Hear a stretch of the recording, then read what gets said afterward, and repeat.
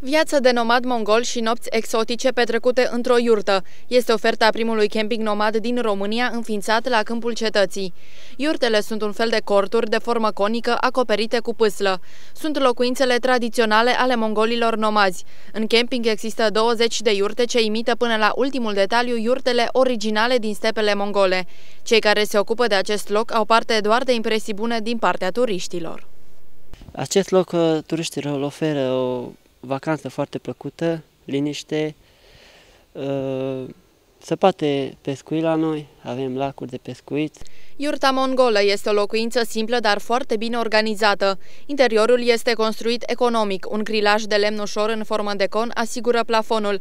Alte câteva prăjini ușoare de lemn asigură scheletul lateral. Apoi mai e pânză de cort, un minimum necesar de mobilă și o sobă pentru încălzit în perioadele reci. În fiecare iurtă există 3 sau 4 paturi. Vizitatorii mai beneficiază însă și de alte facilități.